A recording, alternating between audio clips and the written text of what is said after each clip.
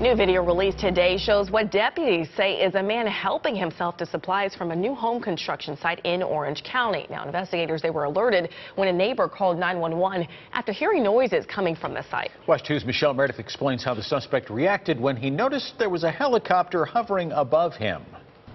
Uh, George Spicer. For 35-year-old George Spicer, Wednesday was not a good day.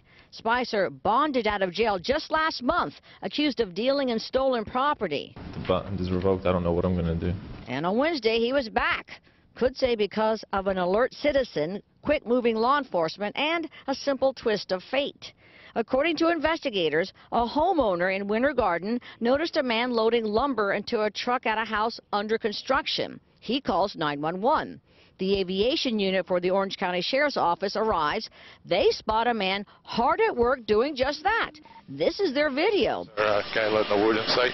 Here's where it gets interesting. At some point, the suspect sees the helicopter, then starts frantically unloading lumber. Can't seem to get it out of his truck fast enough. Hops in the pickup and speeds down the road. But his escape is cut short by deputies who force George Spicer to the ground with guns drawn.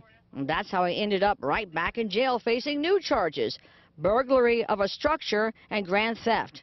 I talked to George Spicer by phone, and he told me it was a mistake that cost him his job, a mistake he says he does not plan to make again.